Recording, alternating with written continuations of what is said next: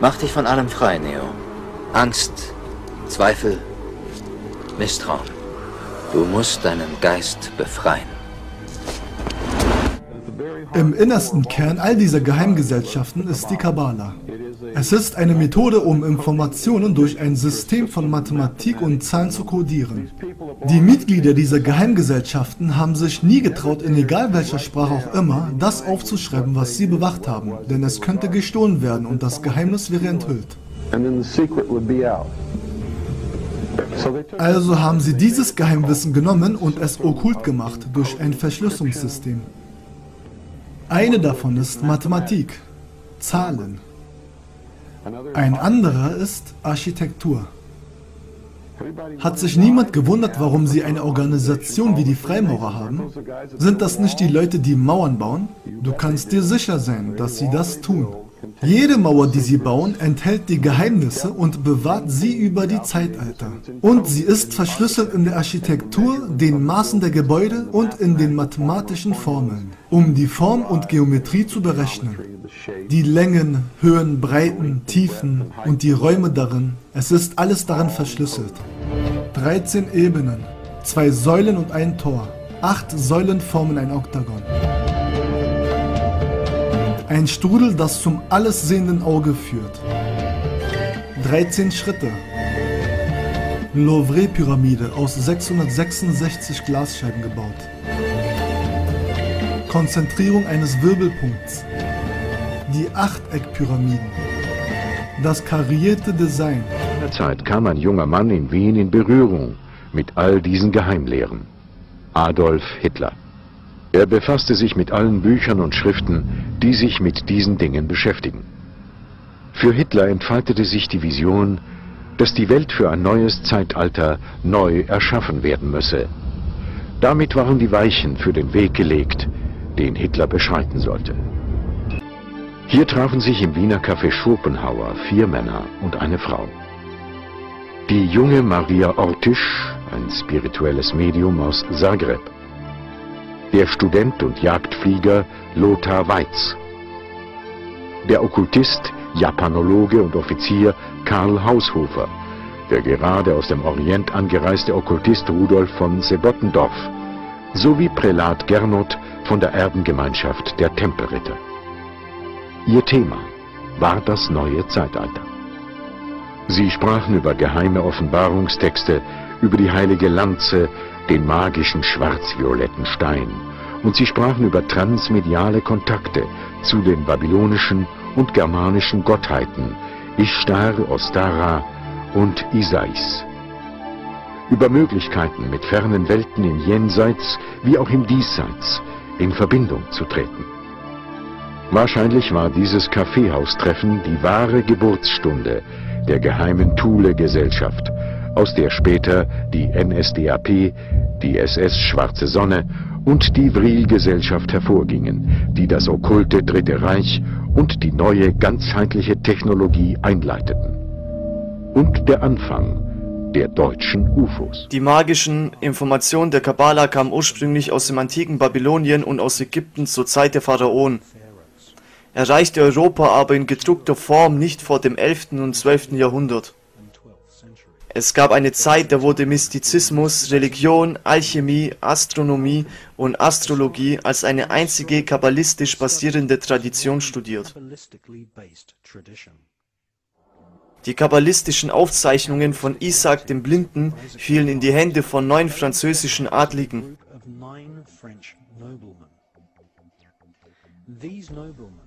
Diese Adligen wurden bekannt als die Tempelritter. Die größten kabbalistischen Geheimnisse von ritueller Sodomie, wie das bösartige Auge, singende Beschwörungen, Totenbeschwörungen, Blutopfer und die Anrufung der gefallenen Engel, um damit Luzifer zu dienen, faszinierten die französischen Tempelritter. Sie fanden heraus, dass die Kabbala ursprünglich aus Palästina kam. Als sie realisierten, dass die Kabbala der Schlüssel war zu unglaublicher spiritueller magischer Macht, planten sie sofort einen blutigen Kreuzzug nach Palästina, um nach mehr kabbalistischen und magischen Artefakten zu suchen. Die geheimen Bücher der Kabbala sind nur einige tausend Wörter lang, aber enthalten komplexe Beschreibungen der Erde, Paralleluniversen und atomarer Natur von Materie. Ideen, die neuen Lehren zwischen modernen Physikern und Astronomen wurden. Wie kam so komplexe Information in einer Gruppe von antiken Texten, die nicht viel größer als eine normale Zeitschrift waren? Die Antwort, die Kabbala wurde in Code geschrieben.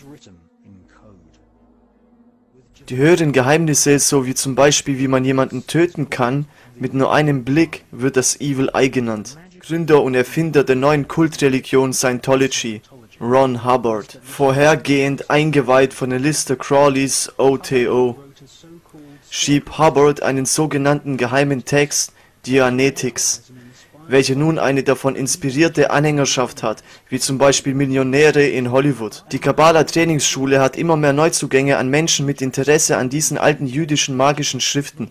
Die meisten wurden inspiriert von Personen wie zum Beispiel Britney Spears oder Madonna. Jahrtausende altes Geheimwissen bildete die Grundlage, von der die Okkultisten des Dritten Reiches ausgingen. Das Zeichen der schwarzen Sonne finden wir bereits in babylonischen und assyrischen Tempeln. Auch Phönizier und Karthager kannten das Symbol und den dahinterstehenden Glaubensgedanken. Im babylonisch-assyrischen Kulturraum wurde die schwarze Sonne, das innere Licht Gottes, oft in Form eines Kreuzes dargestellt. Assyrische Könige trugen dem deutschen Ritterkreuz ganz und gar gleiche Zeichen. Der Ursprung dieses Kreuzes ist also um Jahrtausende älter als das Christentum. Es ist eine Reise in die Zeit zurück, um die Geheimnisse aus der Vergangenheit auszugraben. Diese alten Geheimnisse wurden von der herrschenden Gruppe unter dem Wandersand Ägypten versteckt, für mehr als 4000 Jahre.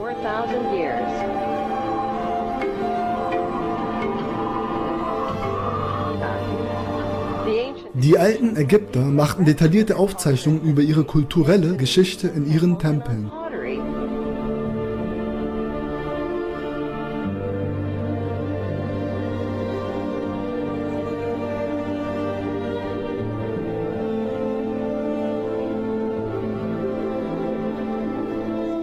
Wundert ihr euch nicht, warum jedes Detail über das Leben der alten Ägyptern aufgezeichnet war und nichts über ihr Meisterwerk, die Pyramiden, gefunden wurde? Und warum wurde darüber nichts erwähnt, wie die Pyramiden gebaut wurden? Weil dieses alte Rätsel oder Geheimnis ein großes Stück des Puzzles ist. Das folgende ist ein Beweis für ihr pharaonisches System.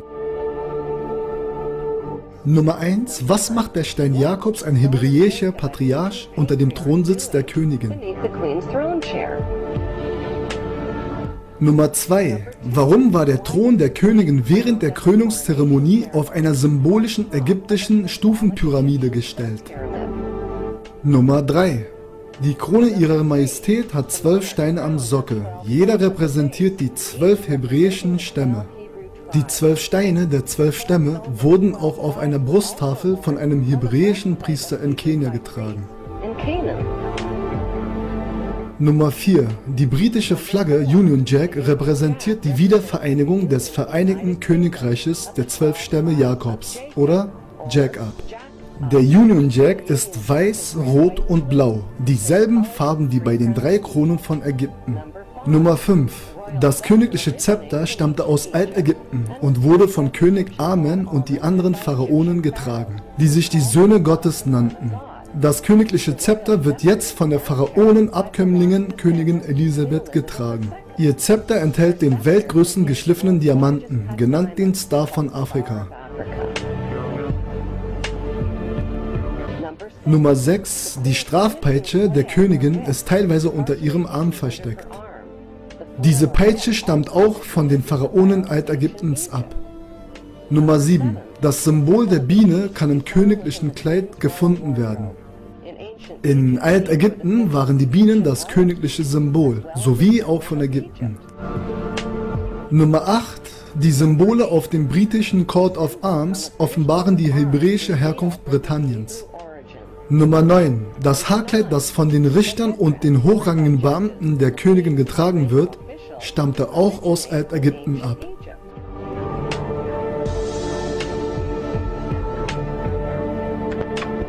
Nummer 10. Der Kilt, wie der von Prinz Charles getragen wird, stammte auch aus Altägypten und wurde von den Pharaonen getragen.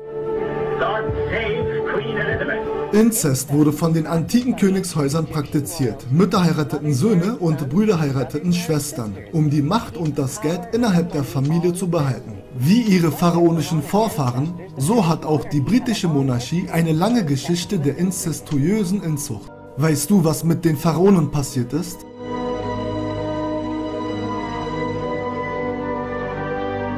Sie waren die globale Macht und beherrschten die Welt von Ägypten aus. Aber was war danach? Sind sie einfach verschwunden?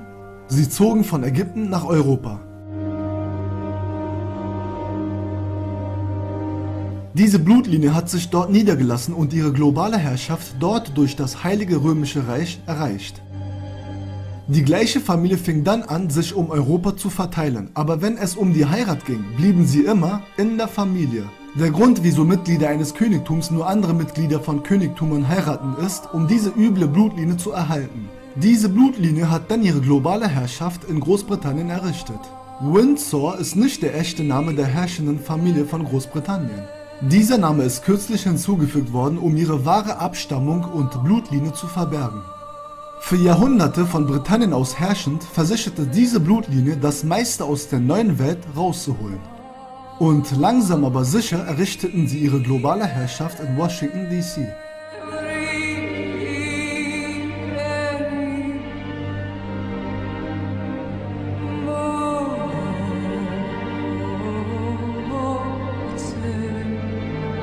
Eine Familie, eine Blutlinie, eine Herrschaft. Manchmal ist die Wahrheit schräger als die Fiktion. Ein Herzschlag von der Präsidentschaft entfernt findet sich tatsächlich eine Blutverwandtschaft. Er ist des Präsidenten neunter Großcousin. Cheneys Cousin Barack Obama ist auch Bush sein elfter Cousin. Lincoln war Bush siebter Cousin, fünffach entfernt. Und Bush hat mehr als nur einen Wahlgang mit John Kerry gemeinsam geführt. Das ist richtig, sie sind nämlich neunte, zweifach Cousins. Verfolgt man den Stammbaum weiter, dann findet man Madonna, Celine Dion und Tom Hanks. Christine, hast du gehört, dass Politiker ein merkwürdiges Gespann bilden? Offensichtlich machen sich Politiker auch für seltsame Verwandtschaften schuldig. Dank der neuen England Historische Genealogische Gesellschaft wissen wir, dass die Präsidentschaftskandidaten mit einer Menge von berühmten und historischen Figuren verwandt sind. Widmet in die Premiere-Kampagne. Ich war gegen diesen Krieg. Aber wussten Sie, dass Sie Familienangehörige sind? Obama ist entfernt mit sechs Präsidenten verwandt. George W. und George H. W. Bush, Gerald Ford, Lyndon Johnson, Harry S. Truman und James Madison. Obamas Familienstammbaum beinhaltet auch Winston Churchill und General Robert Lee. Er ist auch verwandt mit Jack Kerouac und die Frau von Prinz Charles von England. John McCains Ahnen waren schwerer zu erforschen, aber es ist bekannt, dass er der sechste Cousin von Laura Bush ist. Meine Freunde, diese Blutlinien sind einzigartig und sie nehmen Genetik sehr ernst. Das ist die satanische, pharaonische Blutlinie, das die Welt durch die Geschichte hinweg beherrscht hat. Du nennst sie die Elite. Feuer des Schicksalsberges schmiedete der dunkle Herrscher Sauron heimlich einen Meisterring, um alle anderen zu beherrschen. In diesen Ring floss seine Grausamkeit, seine Bosheit und sein Wille, alles Leben zu unterdrücken. Eine Blutlinie, um über sie alle zu herrschen.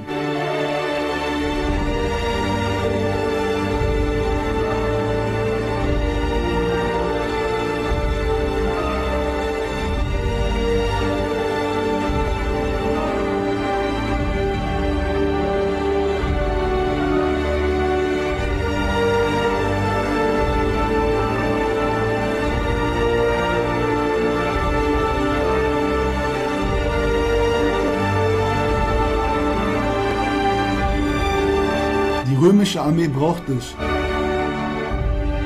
Ich will dich für die US-Armee. Weißt du, wer zusammen mit den zionistischen Bankiersfamilien Hitler unterstützt hat? Weißt du, wer der Autor des modernen Satanismus ist? Sein Spitzname ist der meistübelste Mensch des Jahrhunderts. Aber weißt du, wen Alistair gezeugt hat?